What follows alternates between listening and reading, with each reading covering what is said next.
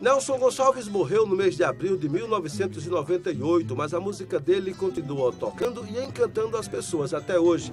Muda de dona vontade, de mulher é comum. Em mais de 50 anos de carreira, ele lançou 178 LPs e 20 CDs e gravou mais de 3 mil músicas.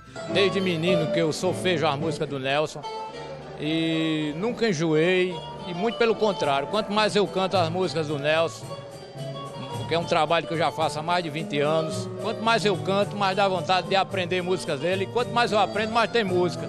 Para contar a história de Nelson Gonçalves, a professora Aunélia Queiroga pesquisou durante 10 anos a obra do artista. Recolheu objetos que pertenceram a ele, revistas, panfletos e discos antigos, alguns da década de 40 e em 78 rotações. Tudo foi reunido no livro Nelson Gonçalves, A Voz do Boêmio. O livro tem depoimentos de pessoas que conviveram com ele, fotos e letras das músicas que ele gravou e compôs. Esse resgate a Nelson, todos nós brasileiros já devíamos. Porque um cantor como Nelson, não, não, não tem cantor no mundo que se equipara a Nelson Gonçalves.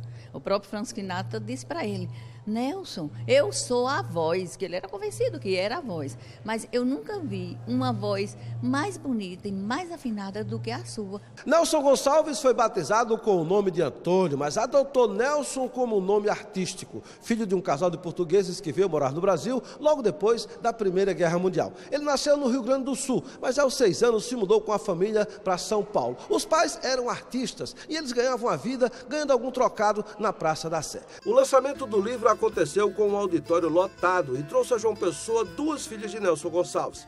A Aunélia fez um trabalho acima da média, um livro maravilhoso, uma festa incrível, uma exposição espetacular. Estou super grata, achei linda, acho que ele merece.